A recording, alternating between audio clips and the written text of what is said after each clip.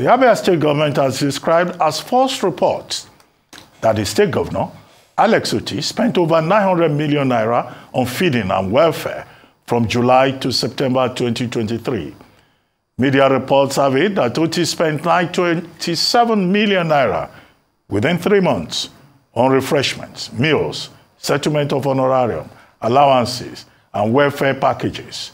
However, in a press statement released earlier in the week, the State Commissioner for Budget and Planning, Mr. Kingsley Anosike, described the reports as a reflection of the mindset of the opposition to create mischief, explaining that the expenditure was not by the governor's office as alleged, but by the entire ministries, departments, and agencies in the state. Joining us now on the morning show for a right of reply and a review of the achievements of Governor Alex Otti of Abia State so far is Ugochukwu Okoroafor, Special Advisor to the Governor on Monitoring and Evaluation. He's joined by Ferdinand Ekeoma, Special Advisor to the Governor on Media and Publicity, and Chinedu Eke, Deputy Chief of Staff to the Governor. Good morning, gentlemen, and thank you for joining us on the morning show. Good morning, Doc. Yeah, thank you. Well, I see it's a whole team from Abia to come and do right of reply. I mean, we had this uh, subject uh, on the What's Trending uh, segment, and I said, ah, it looks like the people serving in the Abia are very gluttonous to spend uh, almost a billion naira on uh, pepper soup and jollof rice in uh, just three months. Uh, let's start with you, Gochuku Okoroafo. I mean, you have been in the media, so you, you know this business. You've been spokesperson at the CBN, and now you are special advisor monitoring and evaluation.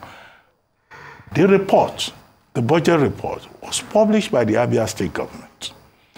But we now have the Commissioner for Budget and Planning say it is uh, mischief on the part of the opposition. It's not the opposition in Abia that published that budget report. This was published by the government. And the government says, well, there are 73 MDAs. It's not the governor that uh, was eating all the meals. This was for about 73 MDAs, government, the state as a whole. But you in charge of monitoring and evaluation. I would like your comments. And what are you likely to do going forward to make sure that uh, the meals and the honorarium and the welfare packages, you advise the governor that uh, those figures are a bit on the high side? Let's start with you. Well, thank you. Um, Reuben, it's, it's great. To, I, I'm, I'm, I'm really happy to be back here and um, good to see somebody like you uh, doing a great job. And Rufai has been a wonderful, wonderful companion for you. And thank you so much. What you've done to help raise the level of uh, discourse. First of all, please, we would like to say that those are our numbers and we own them. And our numbers were published, fully responsible for the numbers, and they are completely, completely correct. But, as they say, you can lie with statistics if you want to. What we're saying is this we have a figure that talks about what has been spent on a particular item, which covers all the MDAs, the ministries, the departments, the agencies, and other arms of government. Now, for them to then say that it is for just a particular, uh, the governor's office, is a mischief in it. For us, it's more important for us to step back. Let's not look at the trees. First of all, it's a lie. Even for that particular figure, for the entire state, the MDAs, is 223 million. And the 223 million has to do with issues of the, the uh, commissioning of activities, the special events that we do, people who come and, you know, we, we, we, we, we met a completely derelict system. And we are revising everything. So all the things that you see are the things that deal with all the expenditure across the board. But more importantly, we're happy. We're happy that for the first time, we can send something out there. People are talking to us, and the social contract which we signed with the people is being exercised. The people are asking questions, and we're responding.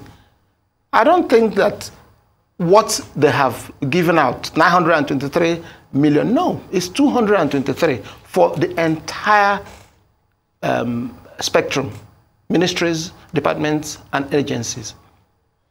Okay, so invariably you're saying your own data that you give gave out is wrong. Is that what you're saying? No, no, no, it's not. What we're saying is they are looking at classification, and I said you can lie okay. with statistics. You can okay. look at a particular figure and say. So whoever is lying with statistics will get to decide. There's another talk of this PH Road project in Aba of six kilometers at 35 billion. Was there due diligence done as regards that project? Because people have raised concerns about that project. And secondly, I have copious notes here in the Vanguard newspaper that talked about the governor saying he was not going to collect security votes. And that he was going to use it for the people. But now we've seen the security votes number increase. What is going on as regards that? But let me answer the very first one, which is yeah. about the Port Harcourt Road. Yeah. Anybody who knows um, Aba will tell you that the Port Road is artery. It's like saying that you closed Ikorodu Road. And it's been closed for 30 years. There was a budget that was put out some years back of about 8, 9 billion. And nothing was done. People's houses were knocked down. We got Julius Berger. People said it couldn't be done. For the first time in the history of the, of, of the state, in a long time, Julius Berger is back. Um, the World Bank is coming. All the people who they thought would never come to Abia State have come in. We showed them Julius Berger. Everybody knows. Okay, so is that 35 billion justified? It's not 35, it's 32. And 22 billion. And, and was it transparently announced? Was, was, due process followed in that contract? That's number one. No, yeah, so go ahead. Talk okay, about that. Okay. Thank contract. you. The figure is 30 billion. It's you not. 32, he said no, 30 no, billion, they, which they, is the billion. In fact, they, no, no, 32. Then they gave us a discount of Two billion. Absolutely. Yeah. So, so we got a discount 30 of, billion. Up to, up to billion. It's verifiable. So is it justified and was due diligence followed in that contract? Of course. Oh, yes. Of course. Was it advertised? if you go to, of course they did, go to Ministry of Works and you lay hand on the information there. The, the, the truth is that the opposition, yeah, because we have to say the opposition, they expected us that if a government is one, uh, awarding a contract, I am not the one to announce it. It is the Ministry of Works that does it. People will bid, and that was exactly what happened. It was done through the Ministry of um, uh, Works, and the road in question is not 5.7 mil, uh, kilometers, it's 6.8 because it starts from Asa Road, not from. Not six kilometers, yeah. So, yeah, 6.8. It's not from port, number one Port Harcourt, it's from Asa Road. What they awarded in 2017 started from Port Harcourt Road and they, it was um, 5 point something kilometers at 9 point something billion. That was in 2017. You can do the math and see the difference. And now, what, like he rightly mentioned, this is Julius Berger. a reputable construction company, and this is a federal road. It's important okay, because we don't have time. So it's a federal road because we saying, could go back to. You're ask, saying you're saying it's justified. Also, let's talk about security votes. Why did the security votes increase tremendously? Okay, let me do a follow-up yes. to that. And the governor promised he was not going to take security votes. I have on record here in Vanguard newspaper that Thank he said you, that. Sir. We, what the governor explained, and of course he did it different, uh, you know, different campaign grounds. We were used to people using our security vote as their personal money. At a point, people assumed that security vote is the fund that the governor can use at his discretion, which is wrong. So the governor said, I wasn't going to do this. The governor, of course, you require security vote to fight insecurity in your state. And you, are, you were aware of what we met on ground on assumption of office. Look at Law Panther, people were being kidnapped and killed. Just a few weeks ago, you saw the documentary done by Al Jazeera. Saw skeletons, you saw decomposed and decomposing bodies. So that's the why the security vote increased. I'm, I'm coming again. There were arrears on assumption of office. Securities in the state met with the governor and said they were being owed months of arrears. He sat with them, they discussed. Okay. He started to defray okay. these arrears. Okay. A whole lot of things. You saw the equipment, you saw what had been done. You saw the homeland security people that were being owed by this government. A whole lot of things. So the facts are there. They know that the governor is prudent. If you come to the state and speak to the people, if you come and see what's on ground, we are doing here for the sake of people outside. But when you come to the state, you will agree with me that the people are in love with their government and the facts are there for anyone to see. And at that appropriate time, we support people to come and take a look at what is on ground. We have an armada of personnel from Abia State. That shows how important these subjects are to you. But let's hear from Ferdinand Ekeoma, the uh, special advisor media. That's that's uh, Ferdinand. Oh, that, Ekeoma. you are I'm- the Ferdinand. Yes, I'm Ekeoma. Chinedu. You are I'm Chinedu Chi- Ekeke. You are Chinedu Ekeke. Okay. Yes, please, He's Doc. Well, our, he's our deputy chief of where, staff. where you storm our studio with uh, three persons, we can mix up the identities. Of course. But you are deputy Of chief of staff. That's that's Okay, understandable. I'd like you to talk about what Governor Alex Otti has been doing since he assumed office. Okay, Because, I mean, he's been a newspaper columnist, he's been in the private sector, and he came into that office with very high promise and expectations, right? What have you guys been doing beyond meals and uh, welfare packages? Can you give us an idea? All right, thank you so much, Doc. It's very good to be here. Um, and I like the question because it helps me highlight how Dr. Alex Otti is actually a different leader. When we came on board in uh, May, on uh, May 29, the first thing we did was to look at the budget we inherited. Very important because I mean, this is the governor who has been writing, who has been saying, look, we have to be prudent. And that reflected in what happened when we took over. So we looked at the budget and we were looking at certain line items that we felt, look, this area, for instance, in the office of the SSG, we had to say, look, this budget needs to be reduced to something different. So we combed through all the line items to shed, you know, cut off something reasonable from them and moved it to the Ministry of Works.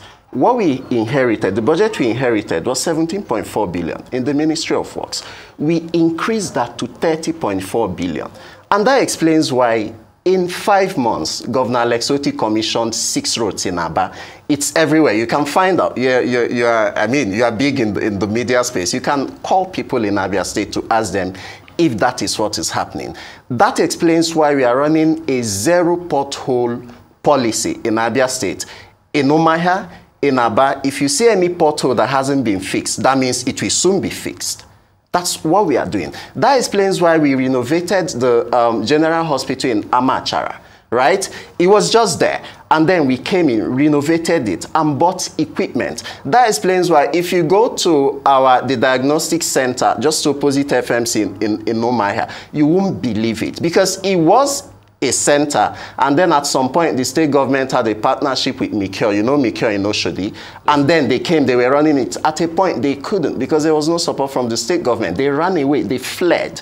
We renovated that. We bought equipment. If you go there, they perform eye surgeries. In fact, I know of people from my community, about 15 of them, that had done eye surgeries in that place in the last two, three weeks. So this is part of what we are doing. And then the most important thing is that there's this new lease of life in Abia State. Just go around, ask people, ask keke people. People, you know, you know what happens? There is no more agberos. We don't have them in Abia State. So keke people park and then go to uh, POS operators or bring out their phones and just pay their their their, their um, uh, taxes without anybody having to grab them, having to beat them, having to punch them to do what they ought to do. So Alexoti is redefining governance in Abia State. And we are not just the people saying it. People of Abia State are the ones saying it. They are seeing the change. The um, Port road that Mazi just talked about, the road had been abandoned. And I, I think we sent uh, an, uh, the video of that to somebody. It, it, it, needs to be shown. If you see the level of excavation that Julius Beja is doing on that road right now, because it was totally abandoned. I, I, was uh, seeing reactions on, on Twitter yesterday when they saw that video, and people were saying, Can you say that this has been a road? And yes, a major road in Abia State. If you come to Umuahia, the entrance to Umuahia, as you are entering the state capital, it looks like just a glorified village. If you come there now, Craneburg is working heavily day and night to ensure that the road is expanded to six lanes. These are the things that Alexoti is doing. And we are not a government of, Coke and Fanta. We are, not, we are not really here to talk about feeding, budget. If it's about feeding and budget, okay, maybe this might sound insignificant. The government eats once a day. I eat once a day. I'm not a food person. Most of us in the administration, we, we, we don't care about food. Right, so that we can be bringing the very big issue of governance to to Coke and Fanta So- so and, and Sprite and so, pepper soup. So, so, so, so, as has Julius Berger started on that road? Yes. Prior to that time, was already a culvert or a gutter dug on that road before now? So that, that, that's another question. Uh, thirdly, why is that the IGR numbers are plummeting and reducing in the state? So Exactly. questions. There's an explanation. Let, let me- There's let an explanation. Let me tell you about that road. Yes. Was there a culvert done already before now? Culvert? Or gutter done on that road? It's not a gutter issue.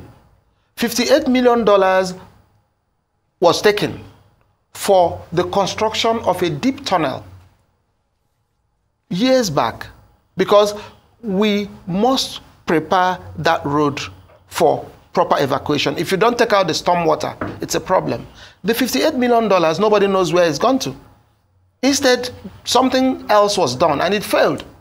This is a road that just because Julius Berger has come in and they are taking their time to try and drain that road, dry, drain that road, land values are going up, asset values are going up, people are going back. Whole, a whole school turned into a refuse dump.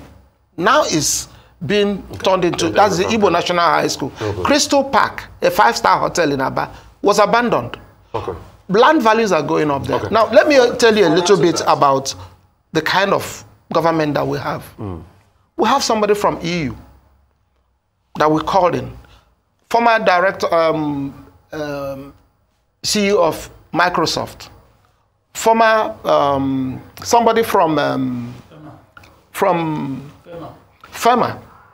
We have how many professors? These are people who left their jobs, their personal um, interests, to come and Okay. run the Because- state. because So time. it's a Because- new. Because, because we need to Can I wrap up talk by 10. on Port Road, please? Yeah, okay, you can talk further on it quickly, but tell me about why the IGRs are going down. The, uh, Intelligence IGR, Revenue. the governor No, believes- Just, the just governor hang on a believes- minute. the Just hang a governor- minute. Let, let him speak. Tell me why the IGRs are going down. Thank you. During the campaigns, the governor repeatedly said something. He defined tax as government share of the prosperity it has created amongst people, and said if you not created, if not created prosperity, you have no moral grounds to ask for tax. So on assumption of office, he gave tax holidays. Flying revenues, was, everything was stopped. Nobody was paying because he needed to do something. The people were like people who were in bondage. So for several months, it was just about a little um, over a month ago that we started collecting tax. So So, we are writing the history. We are setting the structures in place. Okay. In the past, Okay. Agberos will chase you, force you, do all kinds of things, and we knew that these things were affecting ease of doing business. So we needed to take these things away. We knew we were going to pay the price, but we have Okay, started so the process you of had a tax freeze, that's why the IGR reduced. Yes. Tell me about the Port Harcourt road as we wrap up. Quickly. All right, all right. When the the the people we took over from uh, awarded the contract, it was at nine billion. They owned up to that. They said it was nine billion. That was when dollar was three oh five, right? And that was about twenty nine point five million dollars. And they broke down people's houses, demolished everything. No compensation was paid. Before. I think that's been said before. No, but it's important. It bears repeating. It bears emphasizing. Right? They broke down everything. No compensations were paid. Today, if you check 30 billion naira, it is less than the amount of money that they spent. Have you paid compensations now? But We are paying compensations. In You fact, are if- paying or have you paid? We have paid. we have paid. And we have paid. paid. Both, for, are let, let me let, let me Okay. let me We add. need to go. Not Let me add. Let me add. Let me. So you've not paid compensation at Let, Port let me add. No, we're not demolishing anything. We're not touching we, we are anything. not demolishing anything. We didn't anything. need to pay. But in Abia Tower, between for Abia Tower, between for Abia Tower for the first time in the history of the state, people are demolishing their own houses themselves because of the way we went about it. Okay, Exactly. we're We gonna had town hall people of Abia meetings. Town hall meetings. if I there have is to go now. It's over. Yeah. Thank you very much. Uh, the personnel from Abia State, Ferdinand Ekeoma, Ugochukwu Okoroafor, and uh, Chinedu Ekeke. Thank I hope so that the people of Anambra State have been able to listen to you. Abia. Of Abia State have been able to listen to you, and also other Nigerians on this issue of budget report and implementation and the performance of Dr. Alex Otti as governor of Abia State.